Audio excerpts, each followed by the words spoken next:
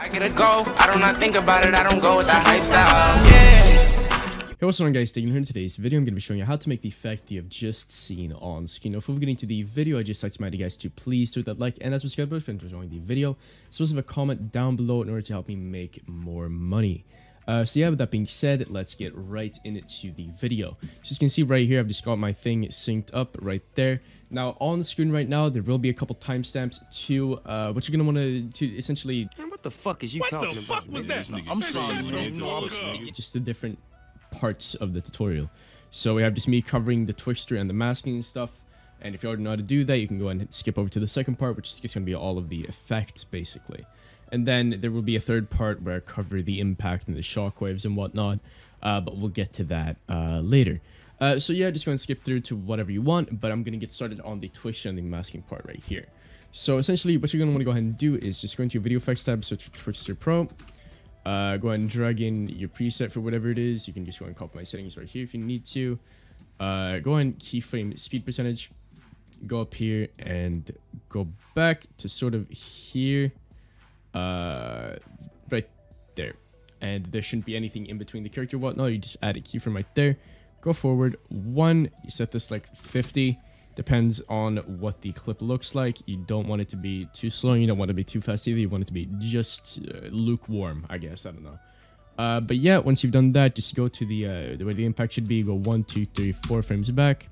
You add a keyframe right here. You go forward and you drag this up until the character goes blue and he drags out like an AR or whatnot, and should look like that. Now you go one frame forward from this. You set this to 50. Uh, and hopefully it shouldn't mess up like that did for some reason. I'm not entirely sure why that messed up, but yeah, it shouldn't look like that once you've rendered it out. And once you've done that, it should be pretty good. Uh, now, if you're gonna want to go ahead and mask this, you either just render it out and mask it with the Twixtor, because with this particular mask, you don't actually need to be 100% accurate. So what you can do is, uh, if you don't want to rotobrush it on AE, I'm not going to cover that in this video, but you can rotobrush it. Uh, what you can do is just actually just go ahead and render all of this out. You render it out just normally, and then you drag the video track on top, and then you just go through, you enable mask right here, click on the first keyframe, and then you just uh, mask everything out essentially. And you're going to want to mask everything out from where the Twixtor starts, so that'll be right there.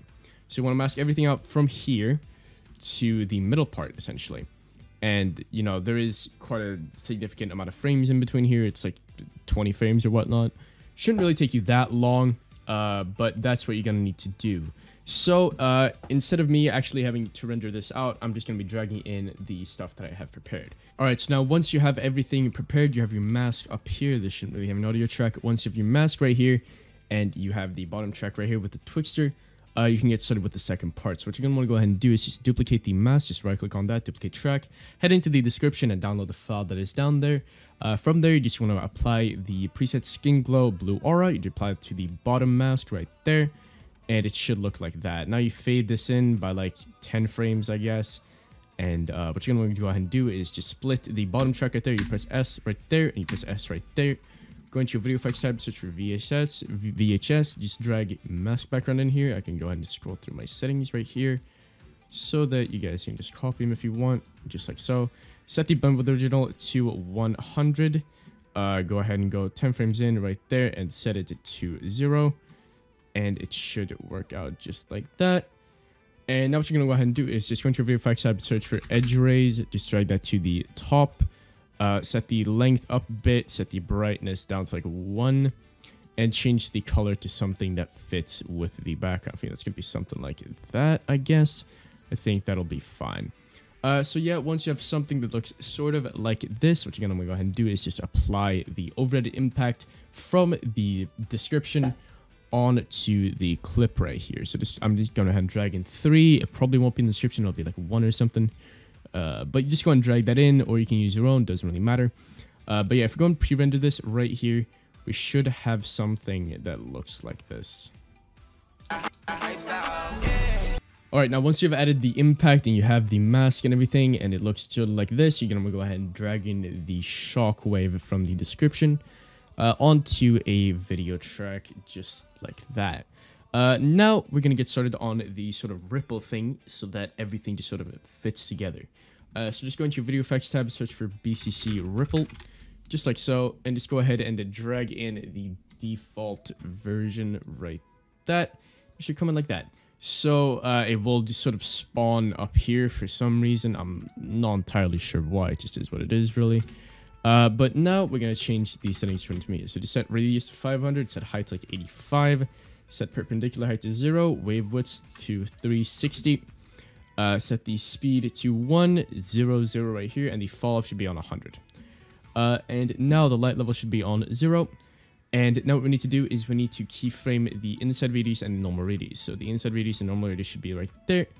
And we go up here and we set this to 1500 and we set this to 1000. Let me just make sure that those are the correct values. Uh, it really just depends on how you want it to look. Uh, for me, I'm going to set this to 2000. I'm going to set that to 1500. Uh, but you want the gap to be sort of uh, 1500 in between. We right click, set those to fast, and then we go up into the FX chain right here and drag this all the way to the left behind the shake. And what this is going to do is it's, going to make it fit in a whole lot more. And as you can see, it, it'll look pretty cool. Just like that. And now what we want to do is we're going to go to Video Effects tab once again and we search for Warp Waves, just like so. Uh, we're to go ahead and uh, drag in the impact uh, wave right there. We just drag that on there, drag it back uh, drag it right before the ripple. And what we want to do right here is actually just set the amplitude right there to zero. We want to set the angle to like 55, something like that. And uh, after that, we should be all good to go with that. So now we just keyframe the amplitude, go to the end, and then we just set it to, uh, to actually, we want to set it to 30, 0, 0.03 right there. We just go to the end and we set it to like 0, 0.01. Uh, we set that to fast as well, obviously. And uh, now if we go back, it should look like a wave. So yeah, I think that looks pretty cool. And uh, yeah, what we need to do now is just drag the shockwave on top of that. We're gonna go ahead and trim it a bit so that we don't really we don't really want the small parts right there. So we're just going to trim that out. Uh, now what we want to do is we want to control C the event attributes from this onto the top. So we just press control C and then we right click on the shockwave, paste with attributes right there, and everything should just sort of fit together. Now we go to the end, we hold control on our keyboard and we time stretch this back just like so. And this is going to make it so that everything just happens quicker. Now it's a bit too fast for my liking, so I'm going to go and time stretch it back, by, and we just drag it to the right if we want to time stretch it back uh, just like so. Let's time stretch it a bit more back and we split it right there and we just fade it out. Uh, so now if we can see, so like here, if you think that looks good, uh, for me, I'm probably just going to go ahead and trim the end right there. And uh, I'm going to go ahead and just sort of drag it out like that. Uh, but yeah, once you've done that, just go ahead and drag that over the uh, the character, or you can have it in the middle as well. It doesn't really matter to me, but uh, for me, I'm gonna put it on the character. Uh, and last thing I'm gonna want to do is just go into Effects tab and search for flicker. Uh, just go and drag the default on. Um, uh, it doesn't really matter. You can go and play around with it, but you know, for me, it doesn't really matter. Uh, but yeah, once we have that, if we're going to pre-render the effect, it should look pretty decent. Just like so. Uh, but now the last thing we want to do is actually just render out this part in specific, the part with just the mask. So just press control, uh, just save it, and then render this out. We're going to render this out in some pretty high settings right here. Just make sure that you render it out in the same frame size as the project is so that you don't disturb any of the actual uh, blow curves or any of the effects with like the guidance or whatever. The grid system in Vegas is absolutely awful. In case you're curious as to why that happens, it's because when you change the uh, the project resolution, you change the grid. So normally it's on like a like a one by one scale. So it's on zero to one, and then it like goes up into the side and whatnot. You can you can see it in Blur curves. You can see it in like edge rays and all that stuff. Uh, but when you change the project file, you actually just change the size of those pixels. Instead of being a one by one, it becomes like a I think it's a four by four or something like that. So it, it makes the the effect confused as to where it is, and it just goes either a lot to the left, a lot to the right. Uh, anyway, it doesn't really matter. It's not centered. It's not where you want it to be. Uh, so now, once that is done, just drag that on top. You delete the audio track. Uh, you're gonna go into video effects tab, search for blur more curves. Just go and drag default on here. Go like two thirds of the way in. Keyframe Z distance, that's like 0, 0.7. Go here, set that to 0.9. Uh, go to the start, set this to either fast or smooth, depends on what you like. You can try both. Uh, and now, once you're here, you're gonna set the center. Just make sure that the center looks fine. I'm gonna set this like so, like there. And now, if we're going to pre-render this, uh, it should look a whole lot better. Now, keep in mind, this is not gonna be the final effect.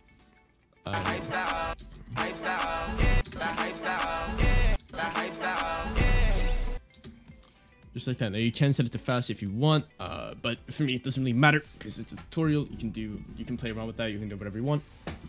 Uh, the last thing we're gonna do is go into our video effects tab, search for dissolve shake, and just drag this on here. Now these are my settings.